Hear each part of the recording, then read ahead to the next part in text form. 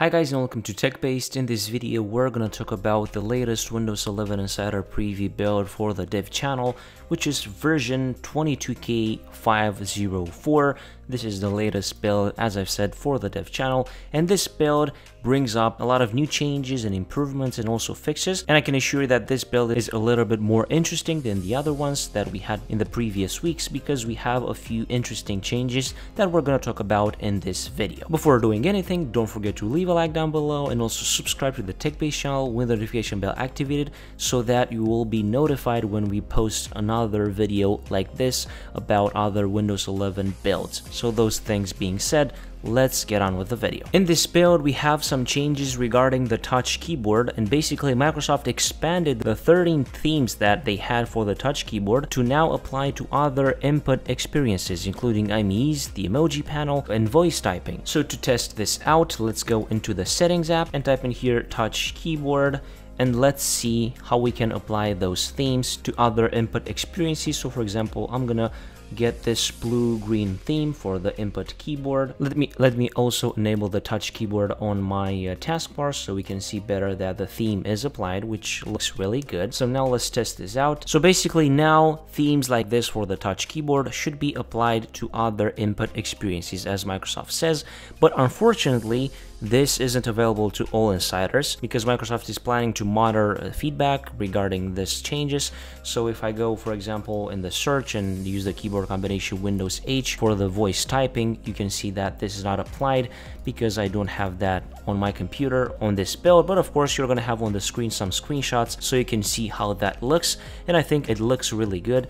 And I'm hoping that Microsoft will bring that sooner on my computer as well. In this build, Microsoft also added the ability for personalized combinations of emoji based on face and skin tones of family members, couples with heart, kissing, and people holding hands. So if we use the Windows plus point keyboard combination, we can type, for example, family here. And if we select the emoji and click on plus, we can, as you can see, we can do a um, custom face and skin tone. We can choose the color of the skin tone, which is uh, really nice. And basically, we can do custom emojis with this new feature. It looks really good. I'm not sure how many of you will use this, but it's really, really interesting. Again, this isn't available to all insiders because Microsoft is also planning to monitor the feedback and see how it lands before they push it to everyone. If you remember, in the last few builds, Microsoft added a new mute icon in the taskbar for when you are in a Microsoft Teams meeting, well, now you can use the Windows Alt plus K keyboard combination on your keyboard to toggle that new icon,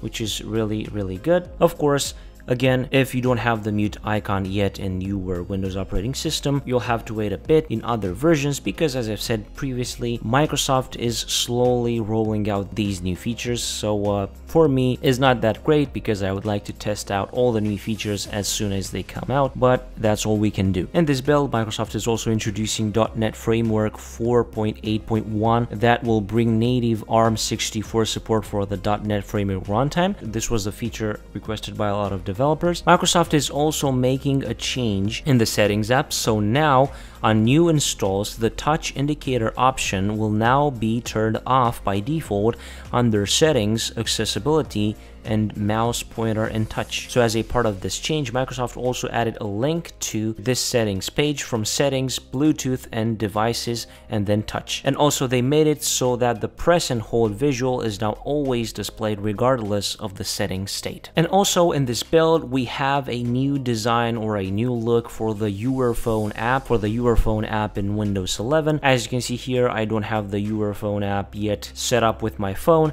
but of course you're going to have screenshots so that you know how the new design and how the new look will roll out. Basically, the Your Phone app is evolving with an updated design that puts notifications at the center. The app can also bring you an organized feed of your real-time notifications across all your most used apps. You'll always have access to your messages, calls, and photos with the added benefit to stay on top of important messages and other notifications more efficiently with this glanceable view. And of course, the app also adopts the Windows 11 design so that the Windows 11 experience for this app will be very good. Regarding fixes, Microsoft fixed an issue that caused the icons to not display correctly in the recommended section of Start. If you open Start and immediate press Shift plus F10 or the context menu, the context menu should be aligned with the search box now, though in my case I'm not really sure that it is aligned with the search box. And a few other important fixes were applied to the taskbar. They fixed an issue that was leading to an Explorer.exe crash